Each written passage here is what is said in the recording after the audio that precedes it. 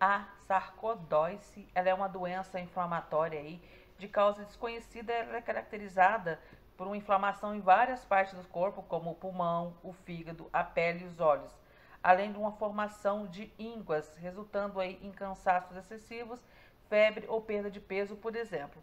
Apesar da causa da sarcoidose ainda não ser muito aí estabelecida, acredita-se que pode ser causada pela resposta do organismo ou até mesmo por vários agentes invasores ou até mesmo também devido à reação do nosso organismo contra ele mesmo, sendo, portanto, considerado uma doença autoimune. Ela não tem cura, no entanto, é de grande importância a realização do tratamento para que seja evitado possíveis complicações como insuficiência respiratória e renal, cegueira e, para, e para, paraplegia, por exemplo. Quais são os sintomas aí da sarcoidose? De acordo com o local em que é verificada as maiores evidências dessa inflamação, a sarcoidose ela pode ser classificada de acordo com os sintomas principais, que é o sarcoidose pulmonar, que é o comprometimento do pulmão que acontece em mais de 90% das pessoas diagnosticadas com a sarcoidose, podendo aí ter o processo inflamatório aí ser percebido por meio da radiografia do tórax e os principais sintomas ela é, são a tosse seca, muito persistente devido a obstruções das vias respiratórias, dificuldade para respirar e também a dor no peito. Além disso, dependendo do estágio da inflamação, a pessoa pode apresentar fibrose do tecido pulmonar, sendo então necessária a realização de, de um transplante, além de hipertensão arterial pulmonar.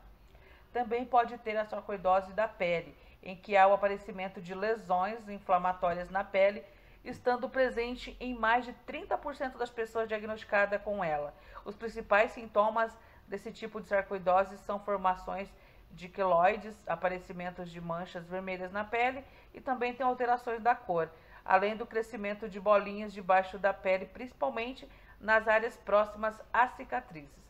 Além disso, essas lesões elas podem aparecer ao nível das sobrancelhas e pode comprometer também o suco é, nasogeniano, que é popularmente conhecido aí como bigode chinês, tá? Também tem a sarcoidose ocular. No caso desses é, acometimentos dos olhos, os sintomas mais caracterizados vão da visão embaçada, dor nos olhos, vermelhidão, olhos secos e hipersensibilidade à luz.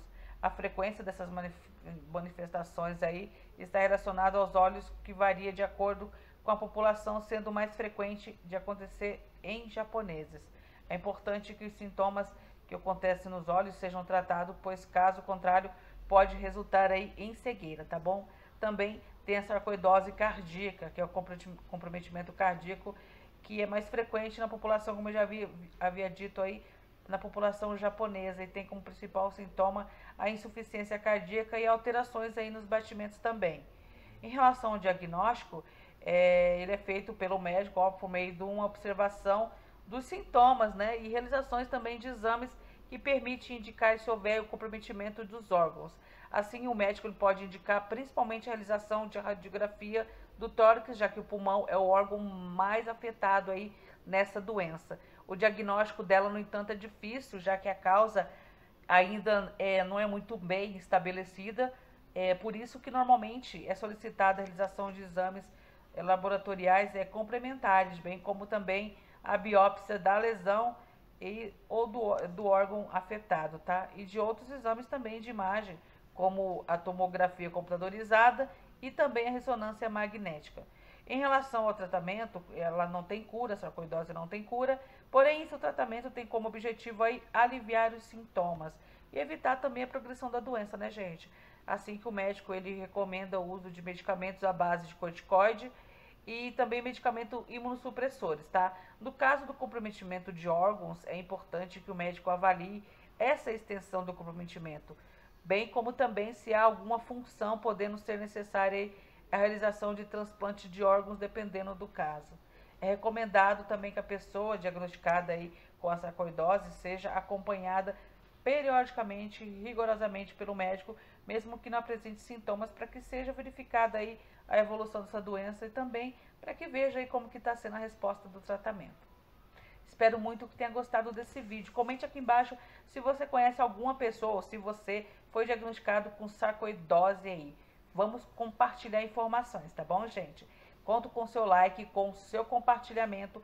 Se não é inscrito aqui no Artrite, aproveita e se inscreve, ativa o sininho, todas as notificações para que você receba todos os vídeos aqui que é de segunda a sexta-feira. Comente aqui embaixo também qual é a sua cidade, tá? Um beijo no coração e a gente se vê no próximo vídeo. Lembrando que aqui embaixo tem todas as redes sociais do Artrite, onde tem muitas mais informações aí sobre doenças crônicas e doenças autoimunes. Um beijo no coração, fiquem todos com Deus e até o próximo vídeo. Tchau, tchau, gente.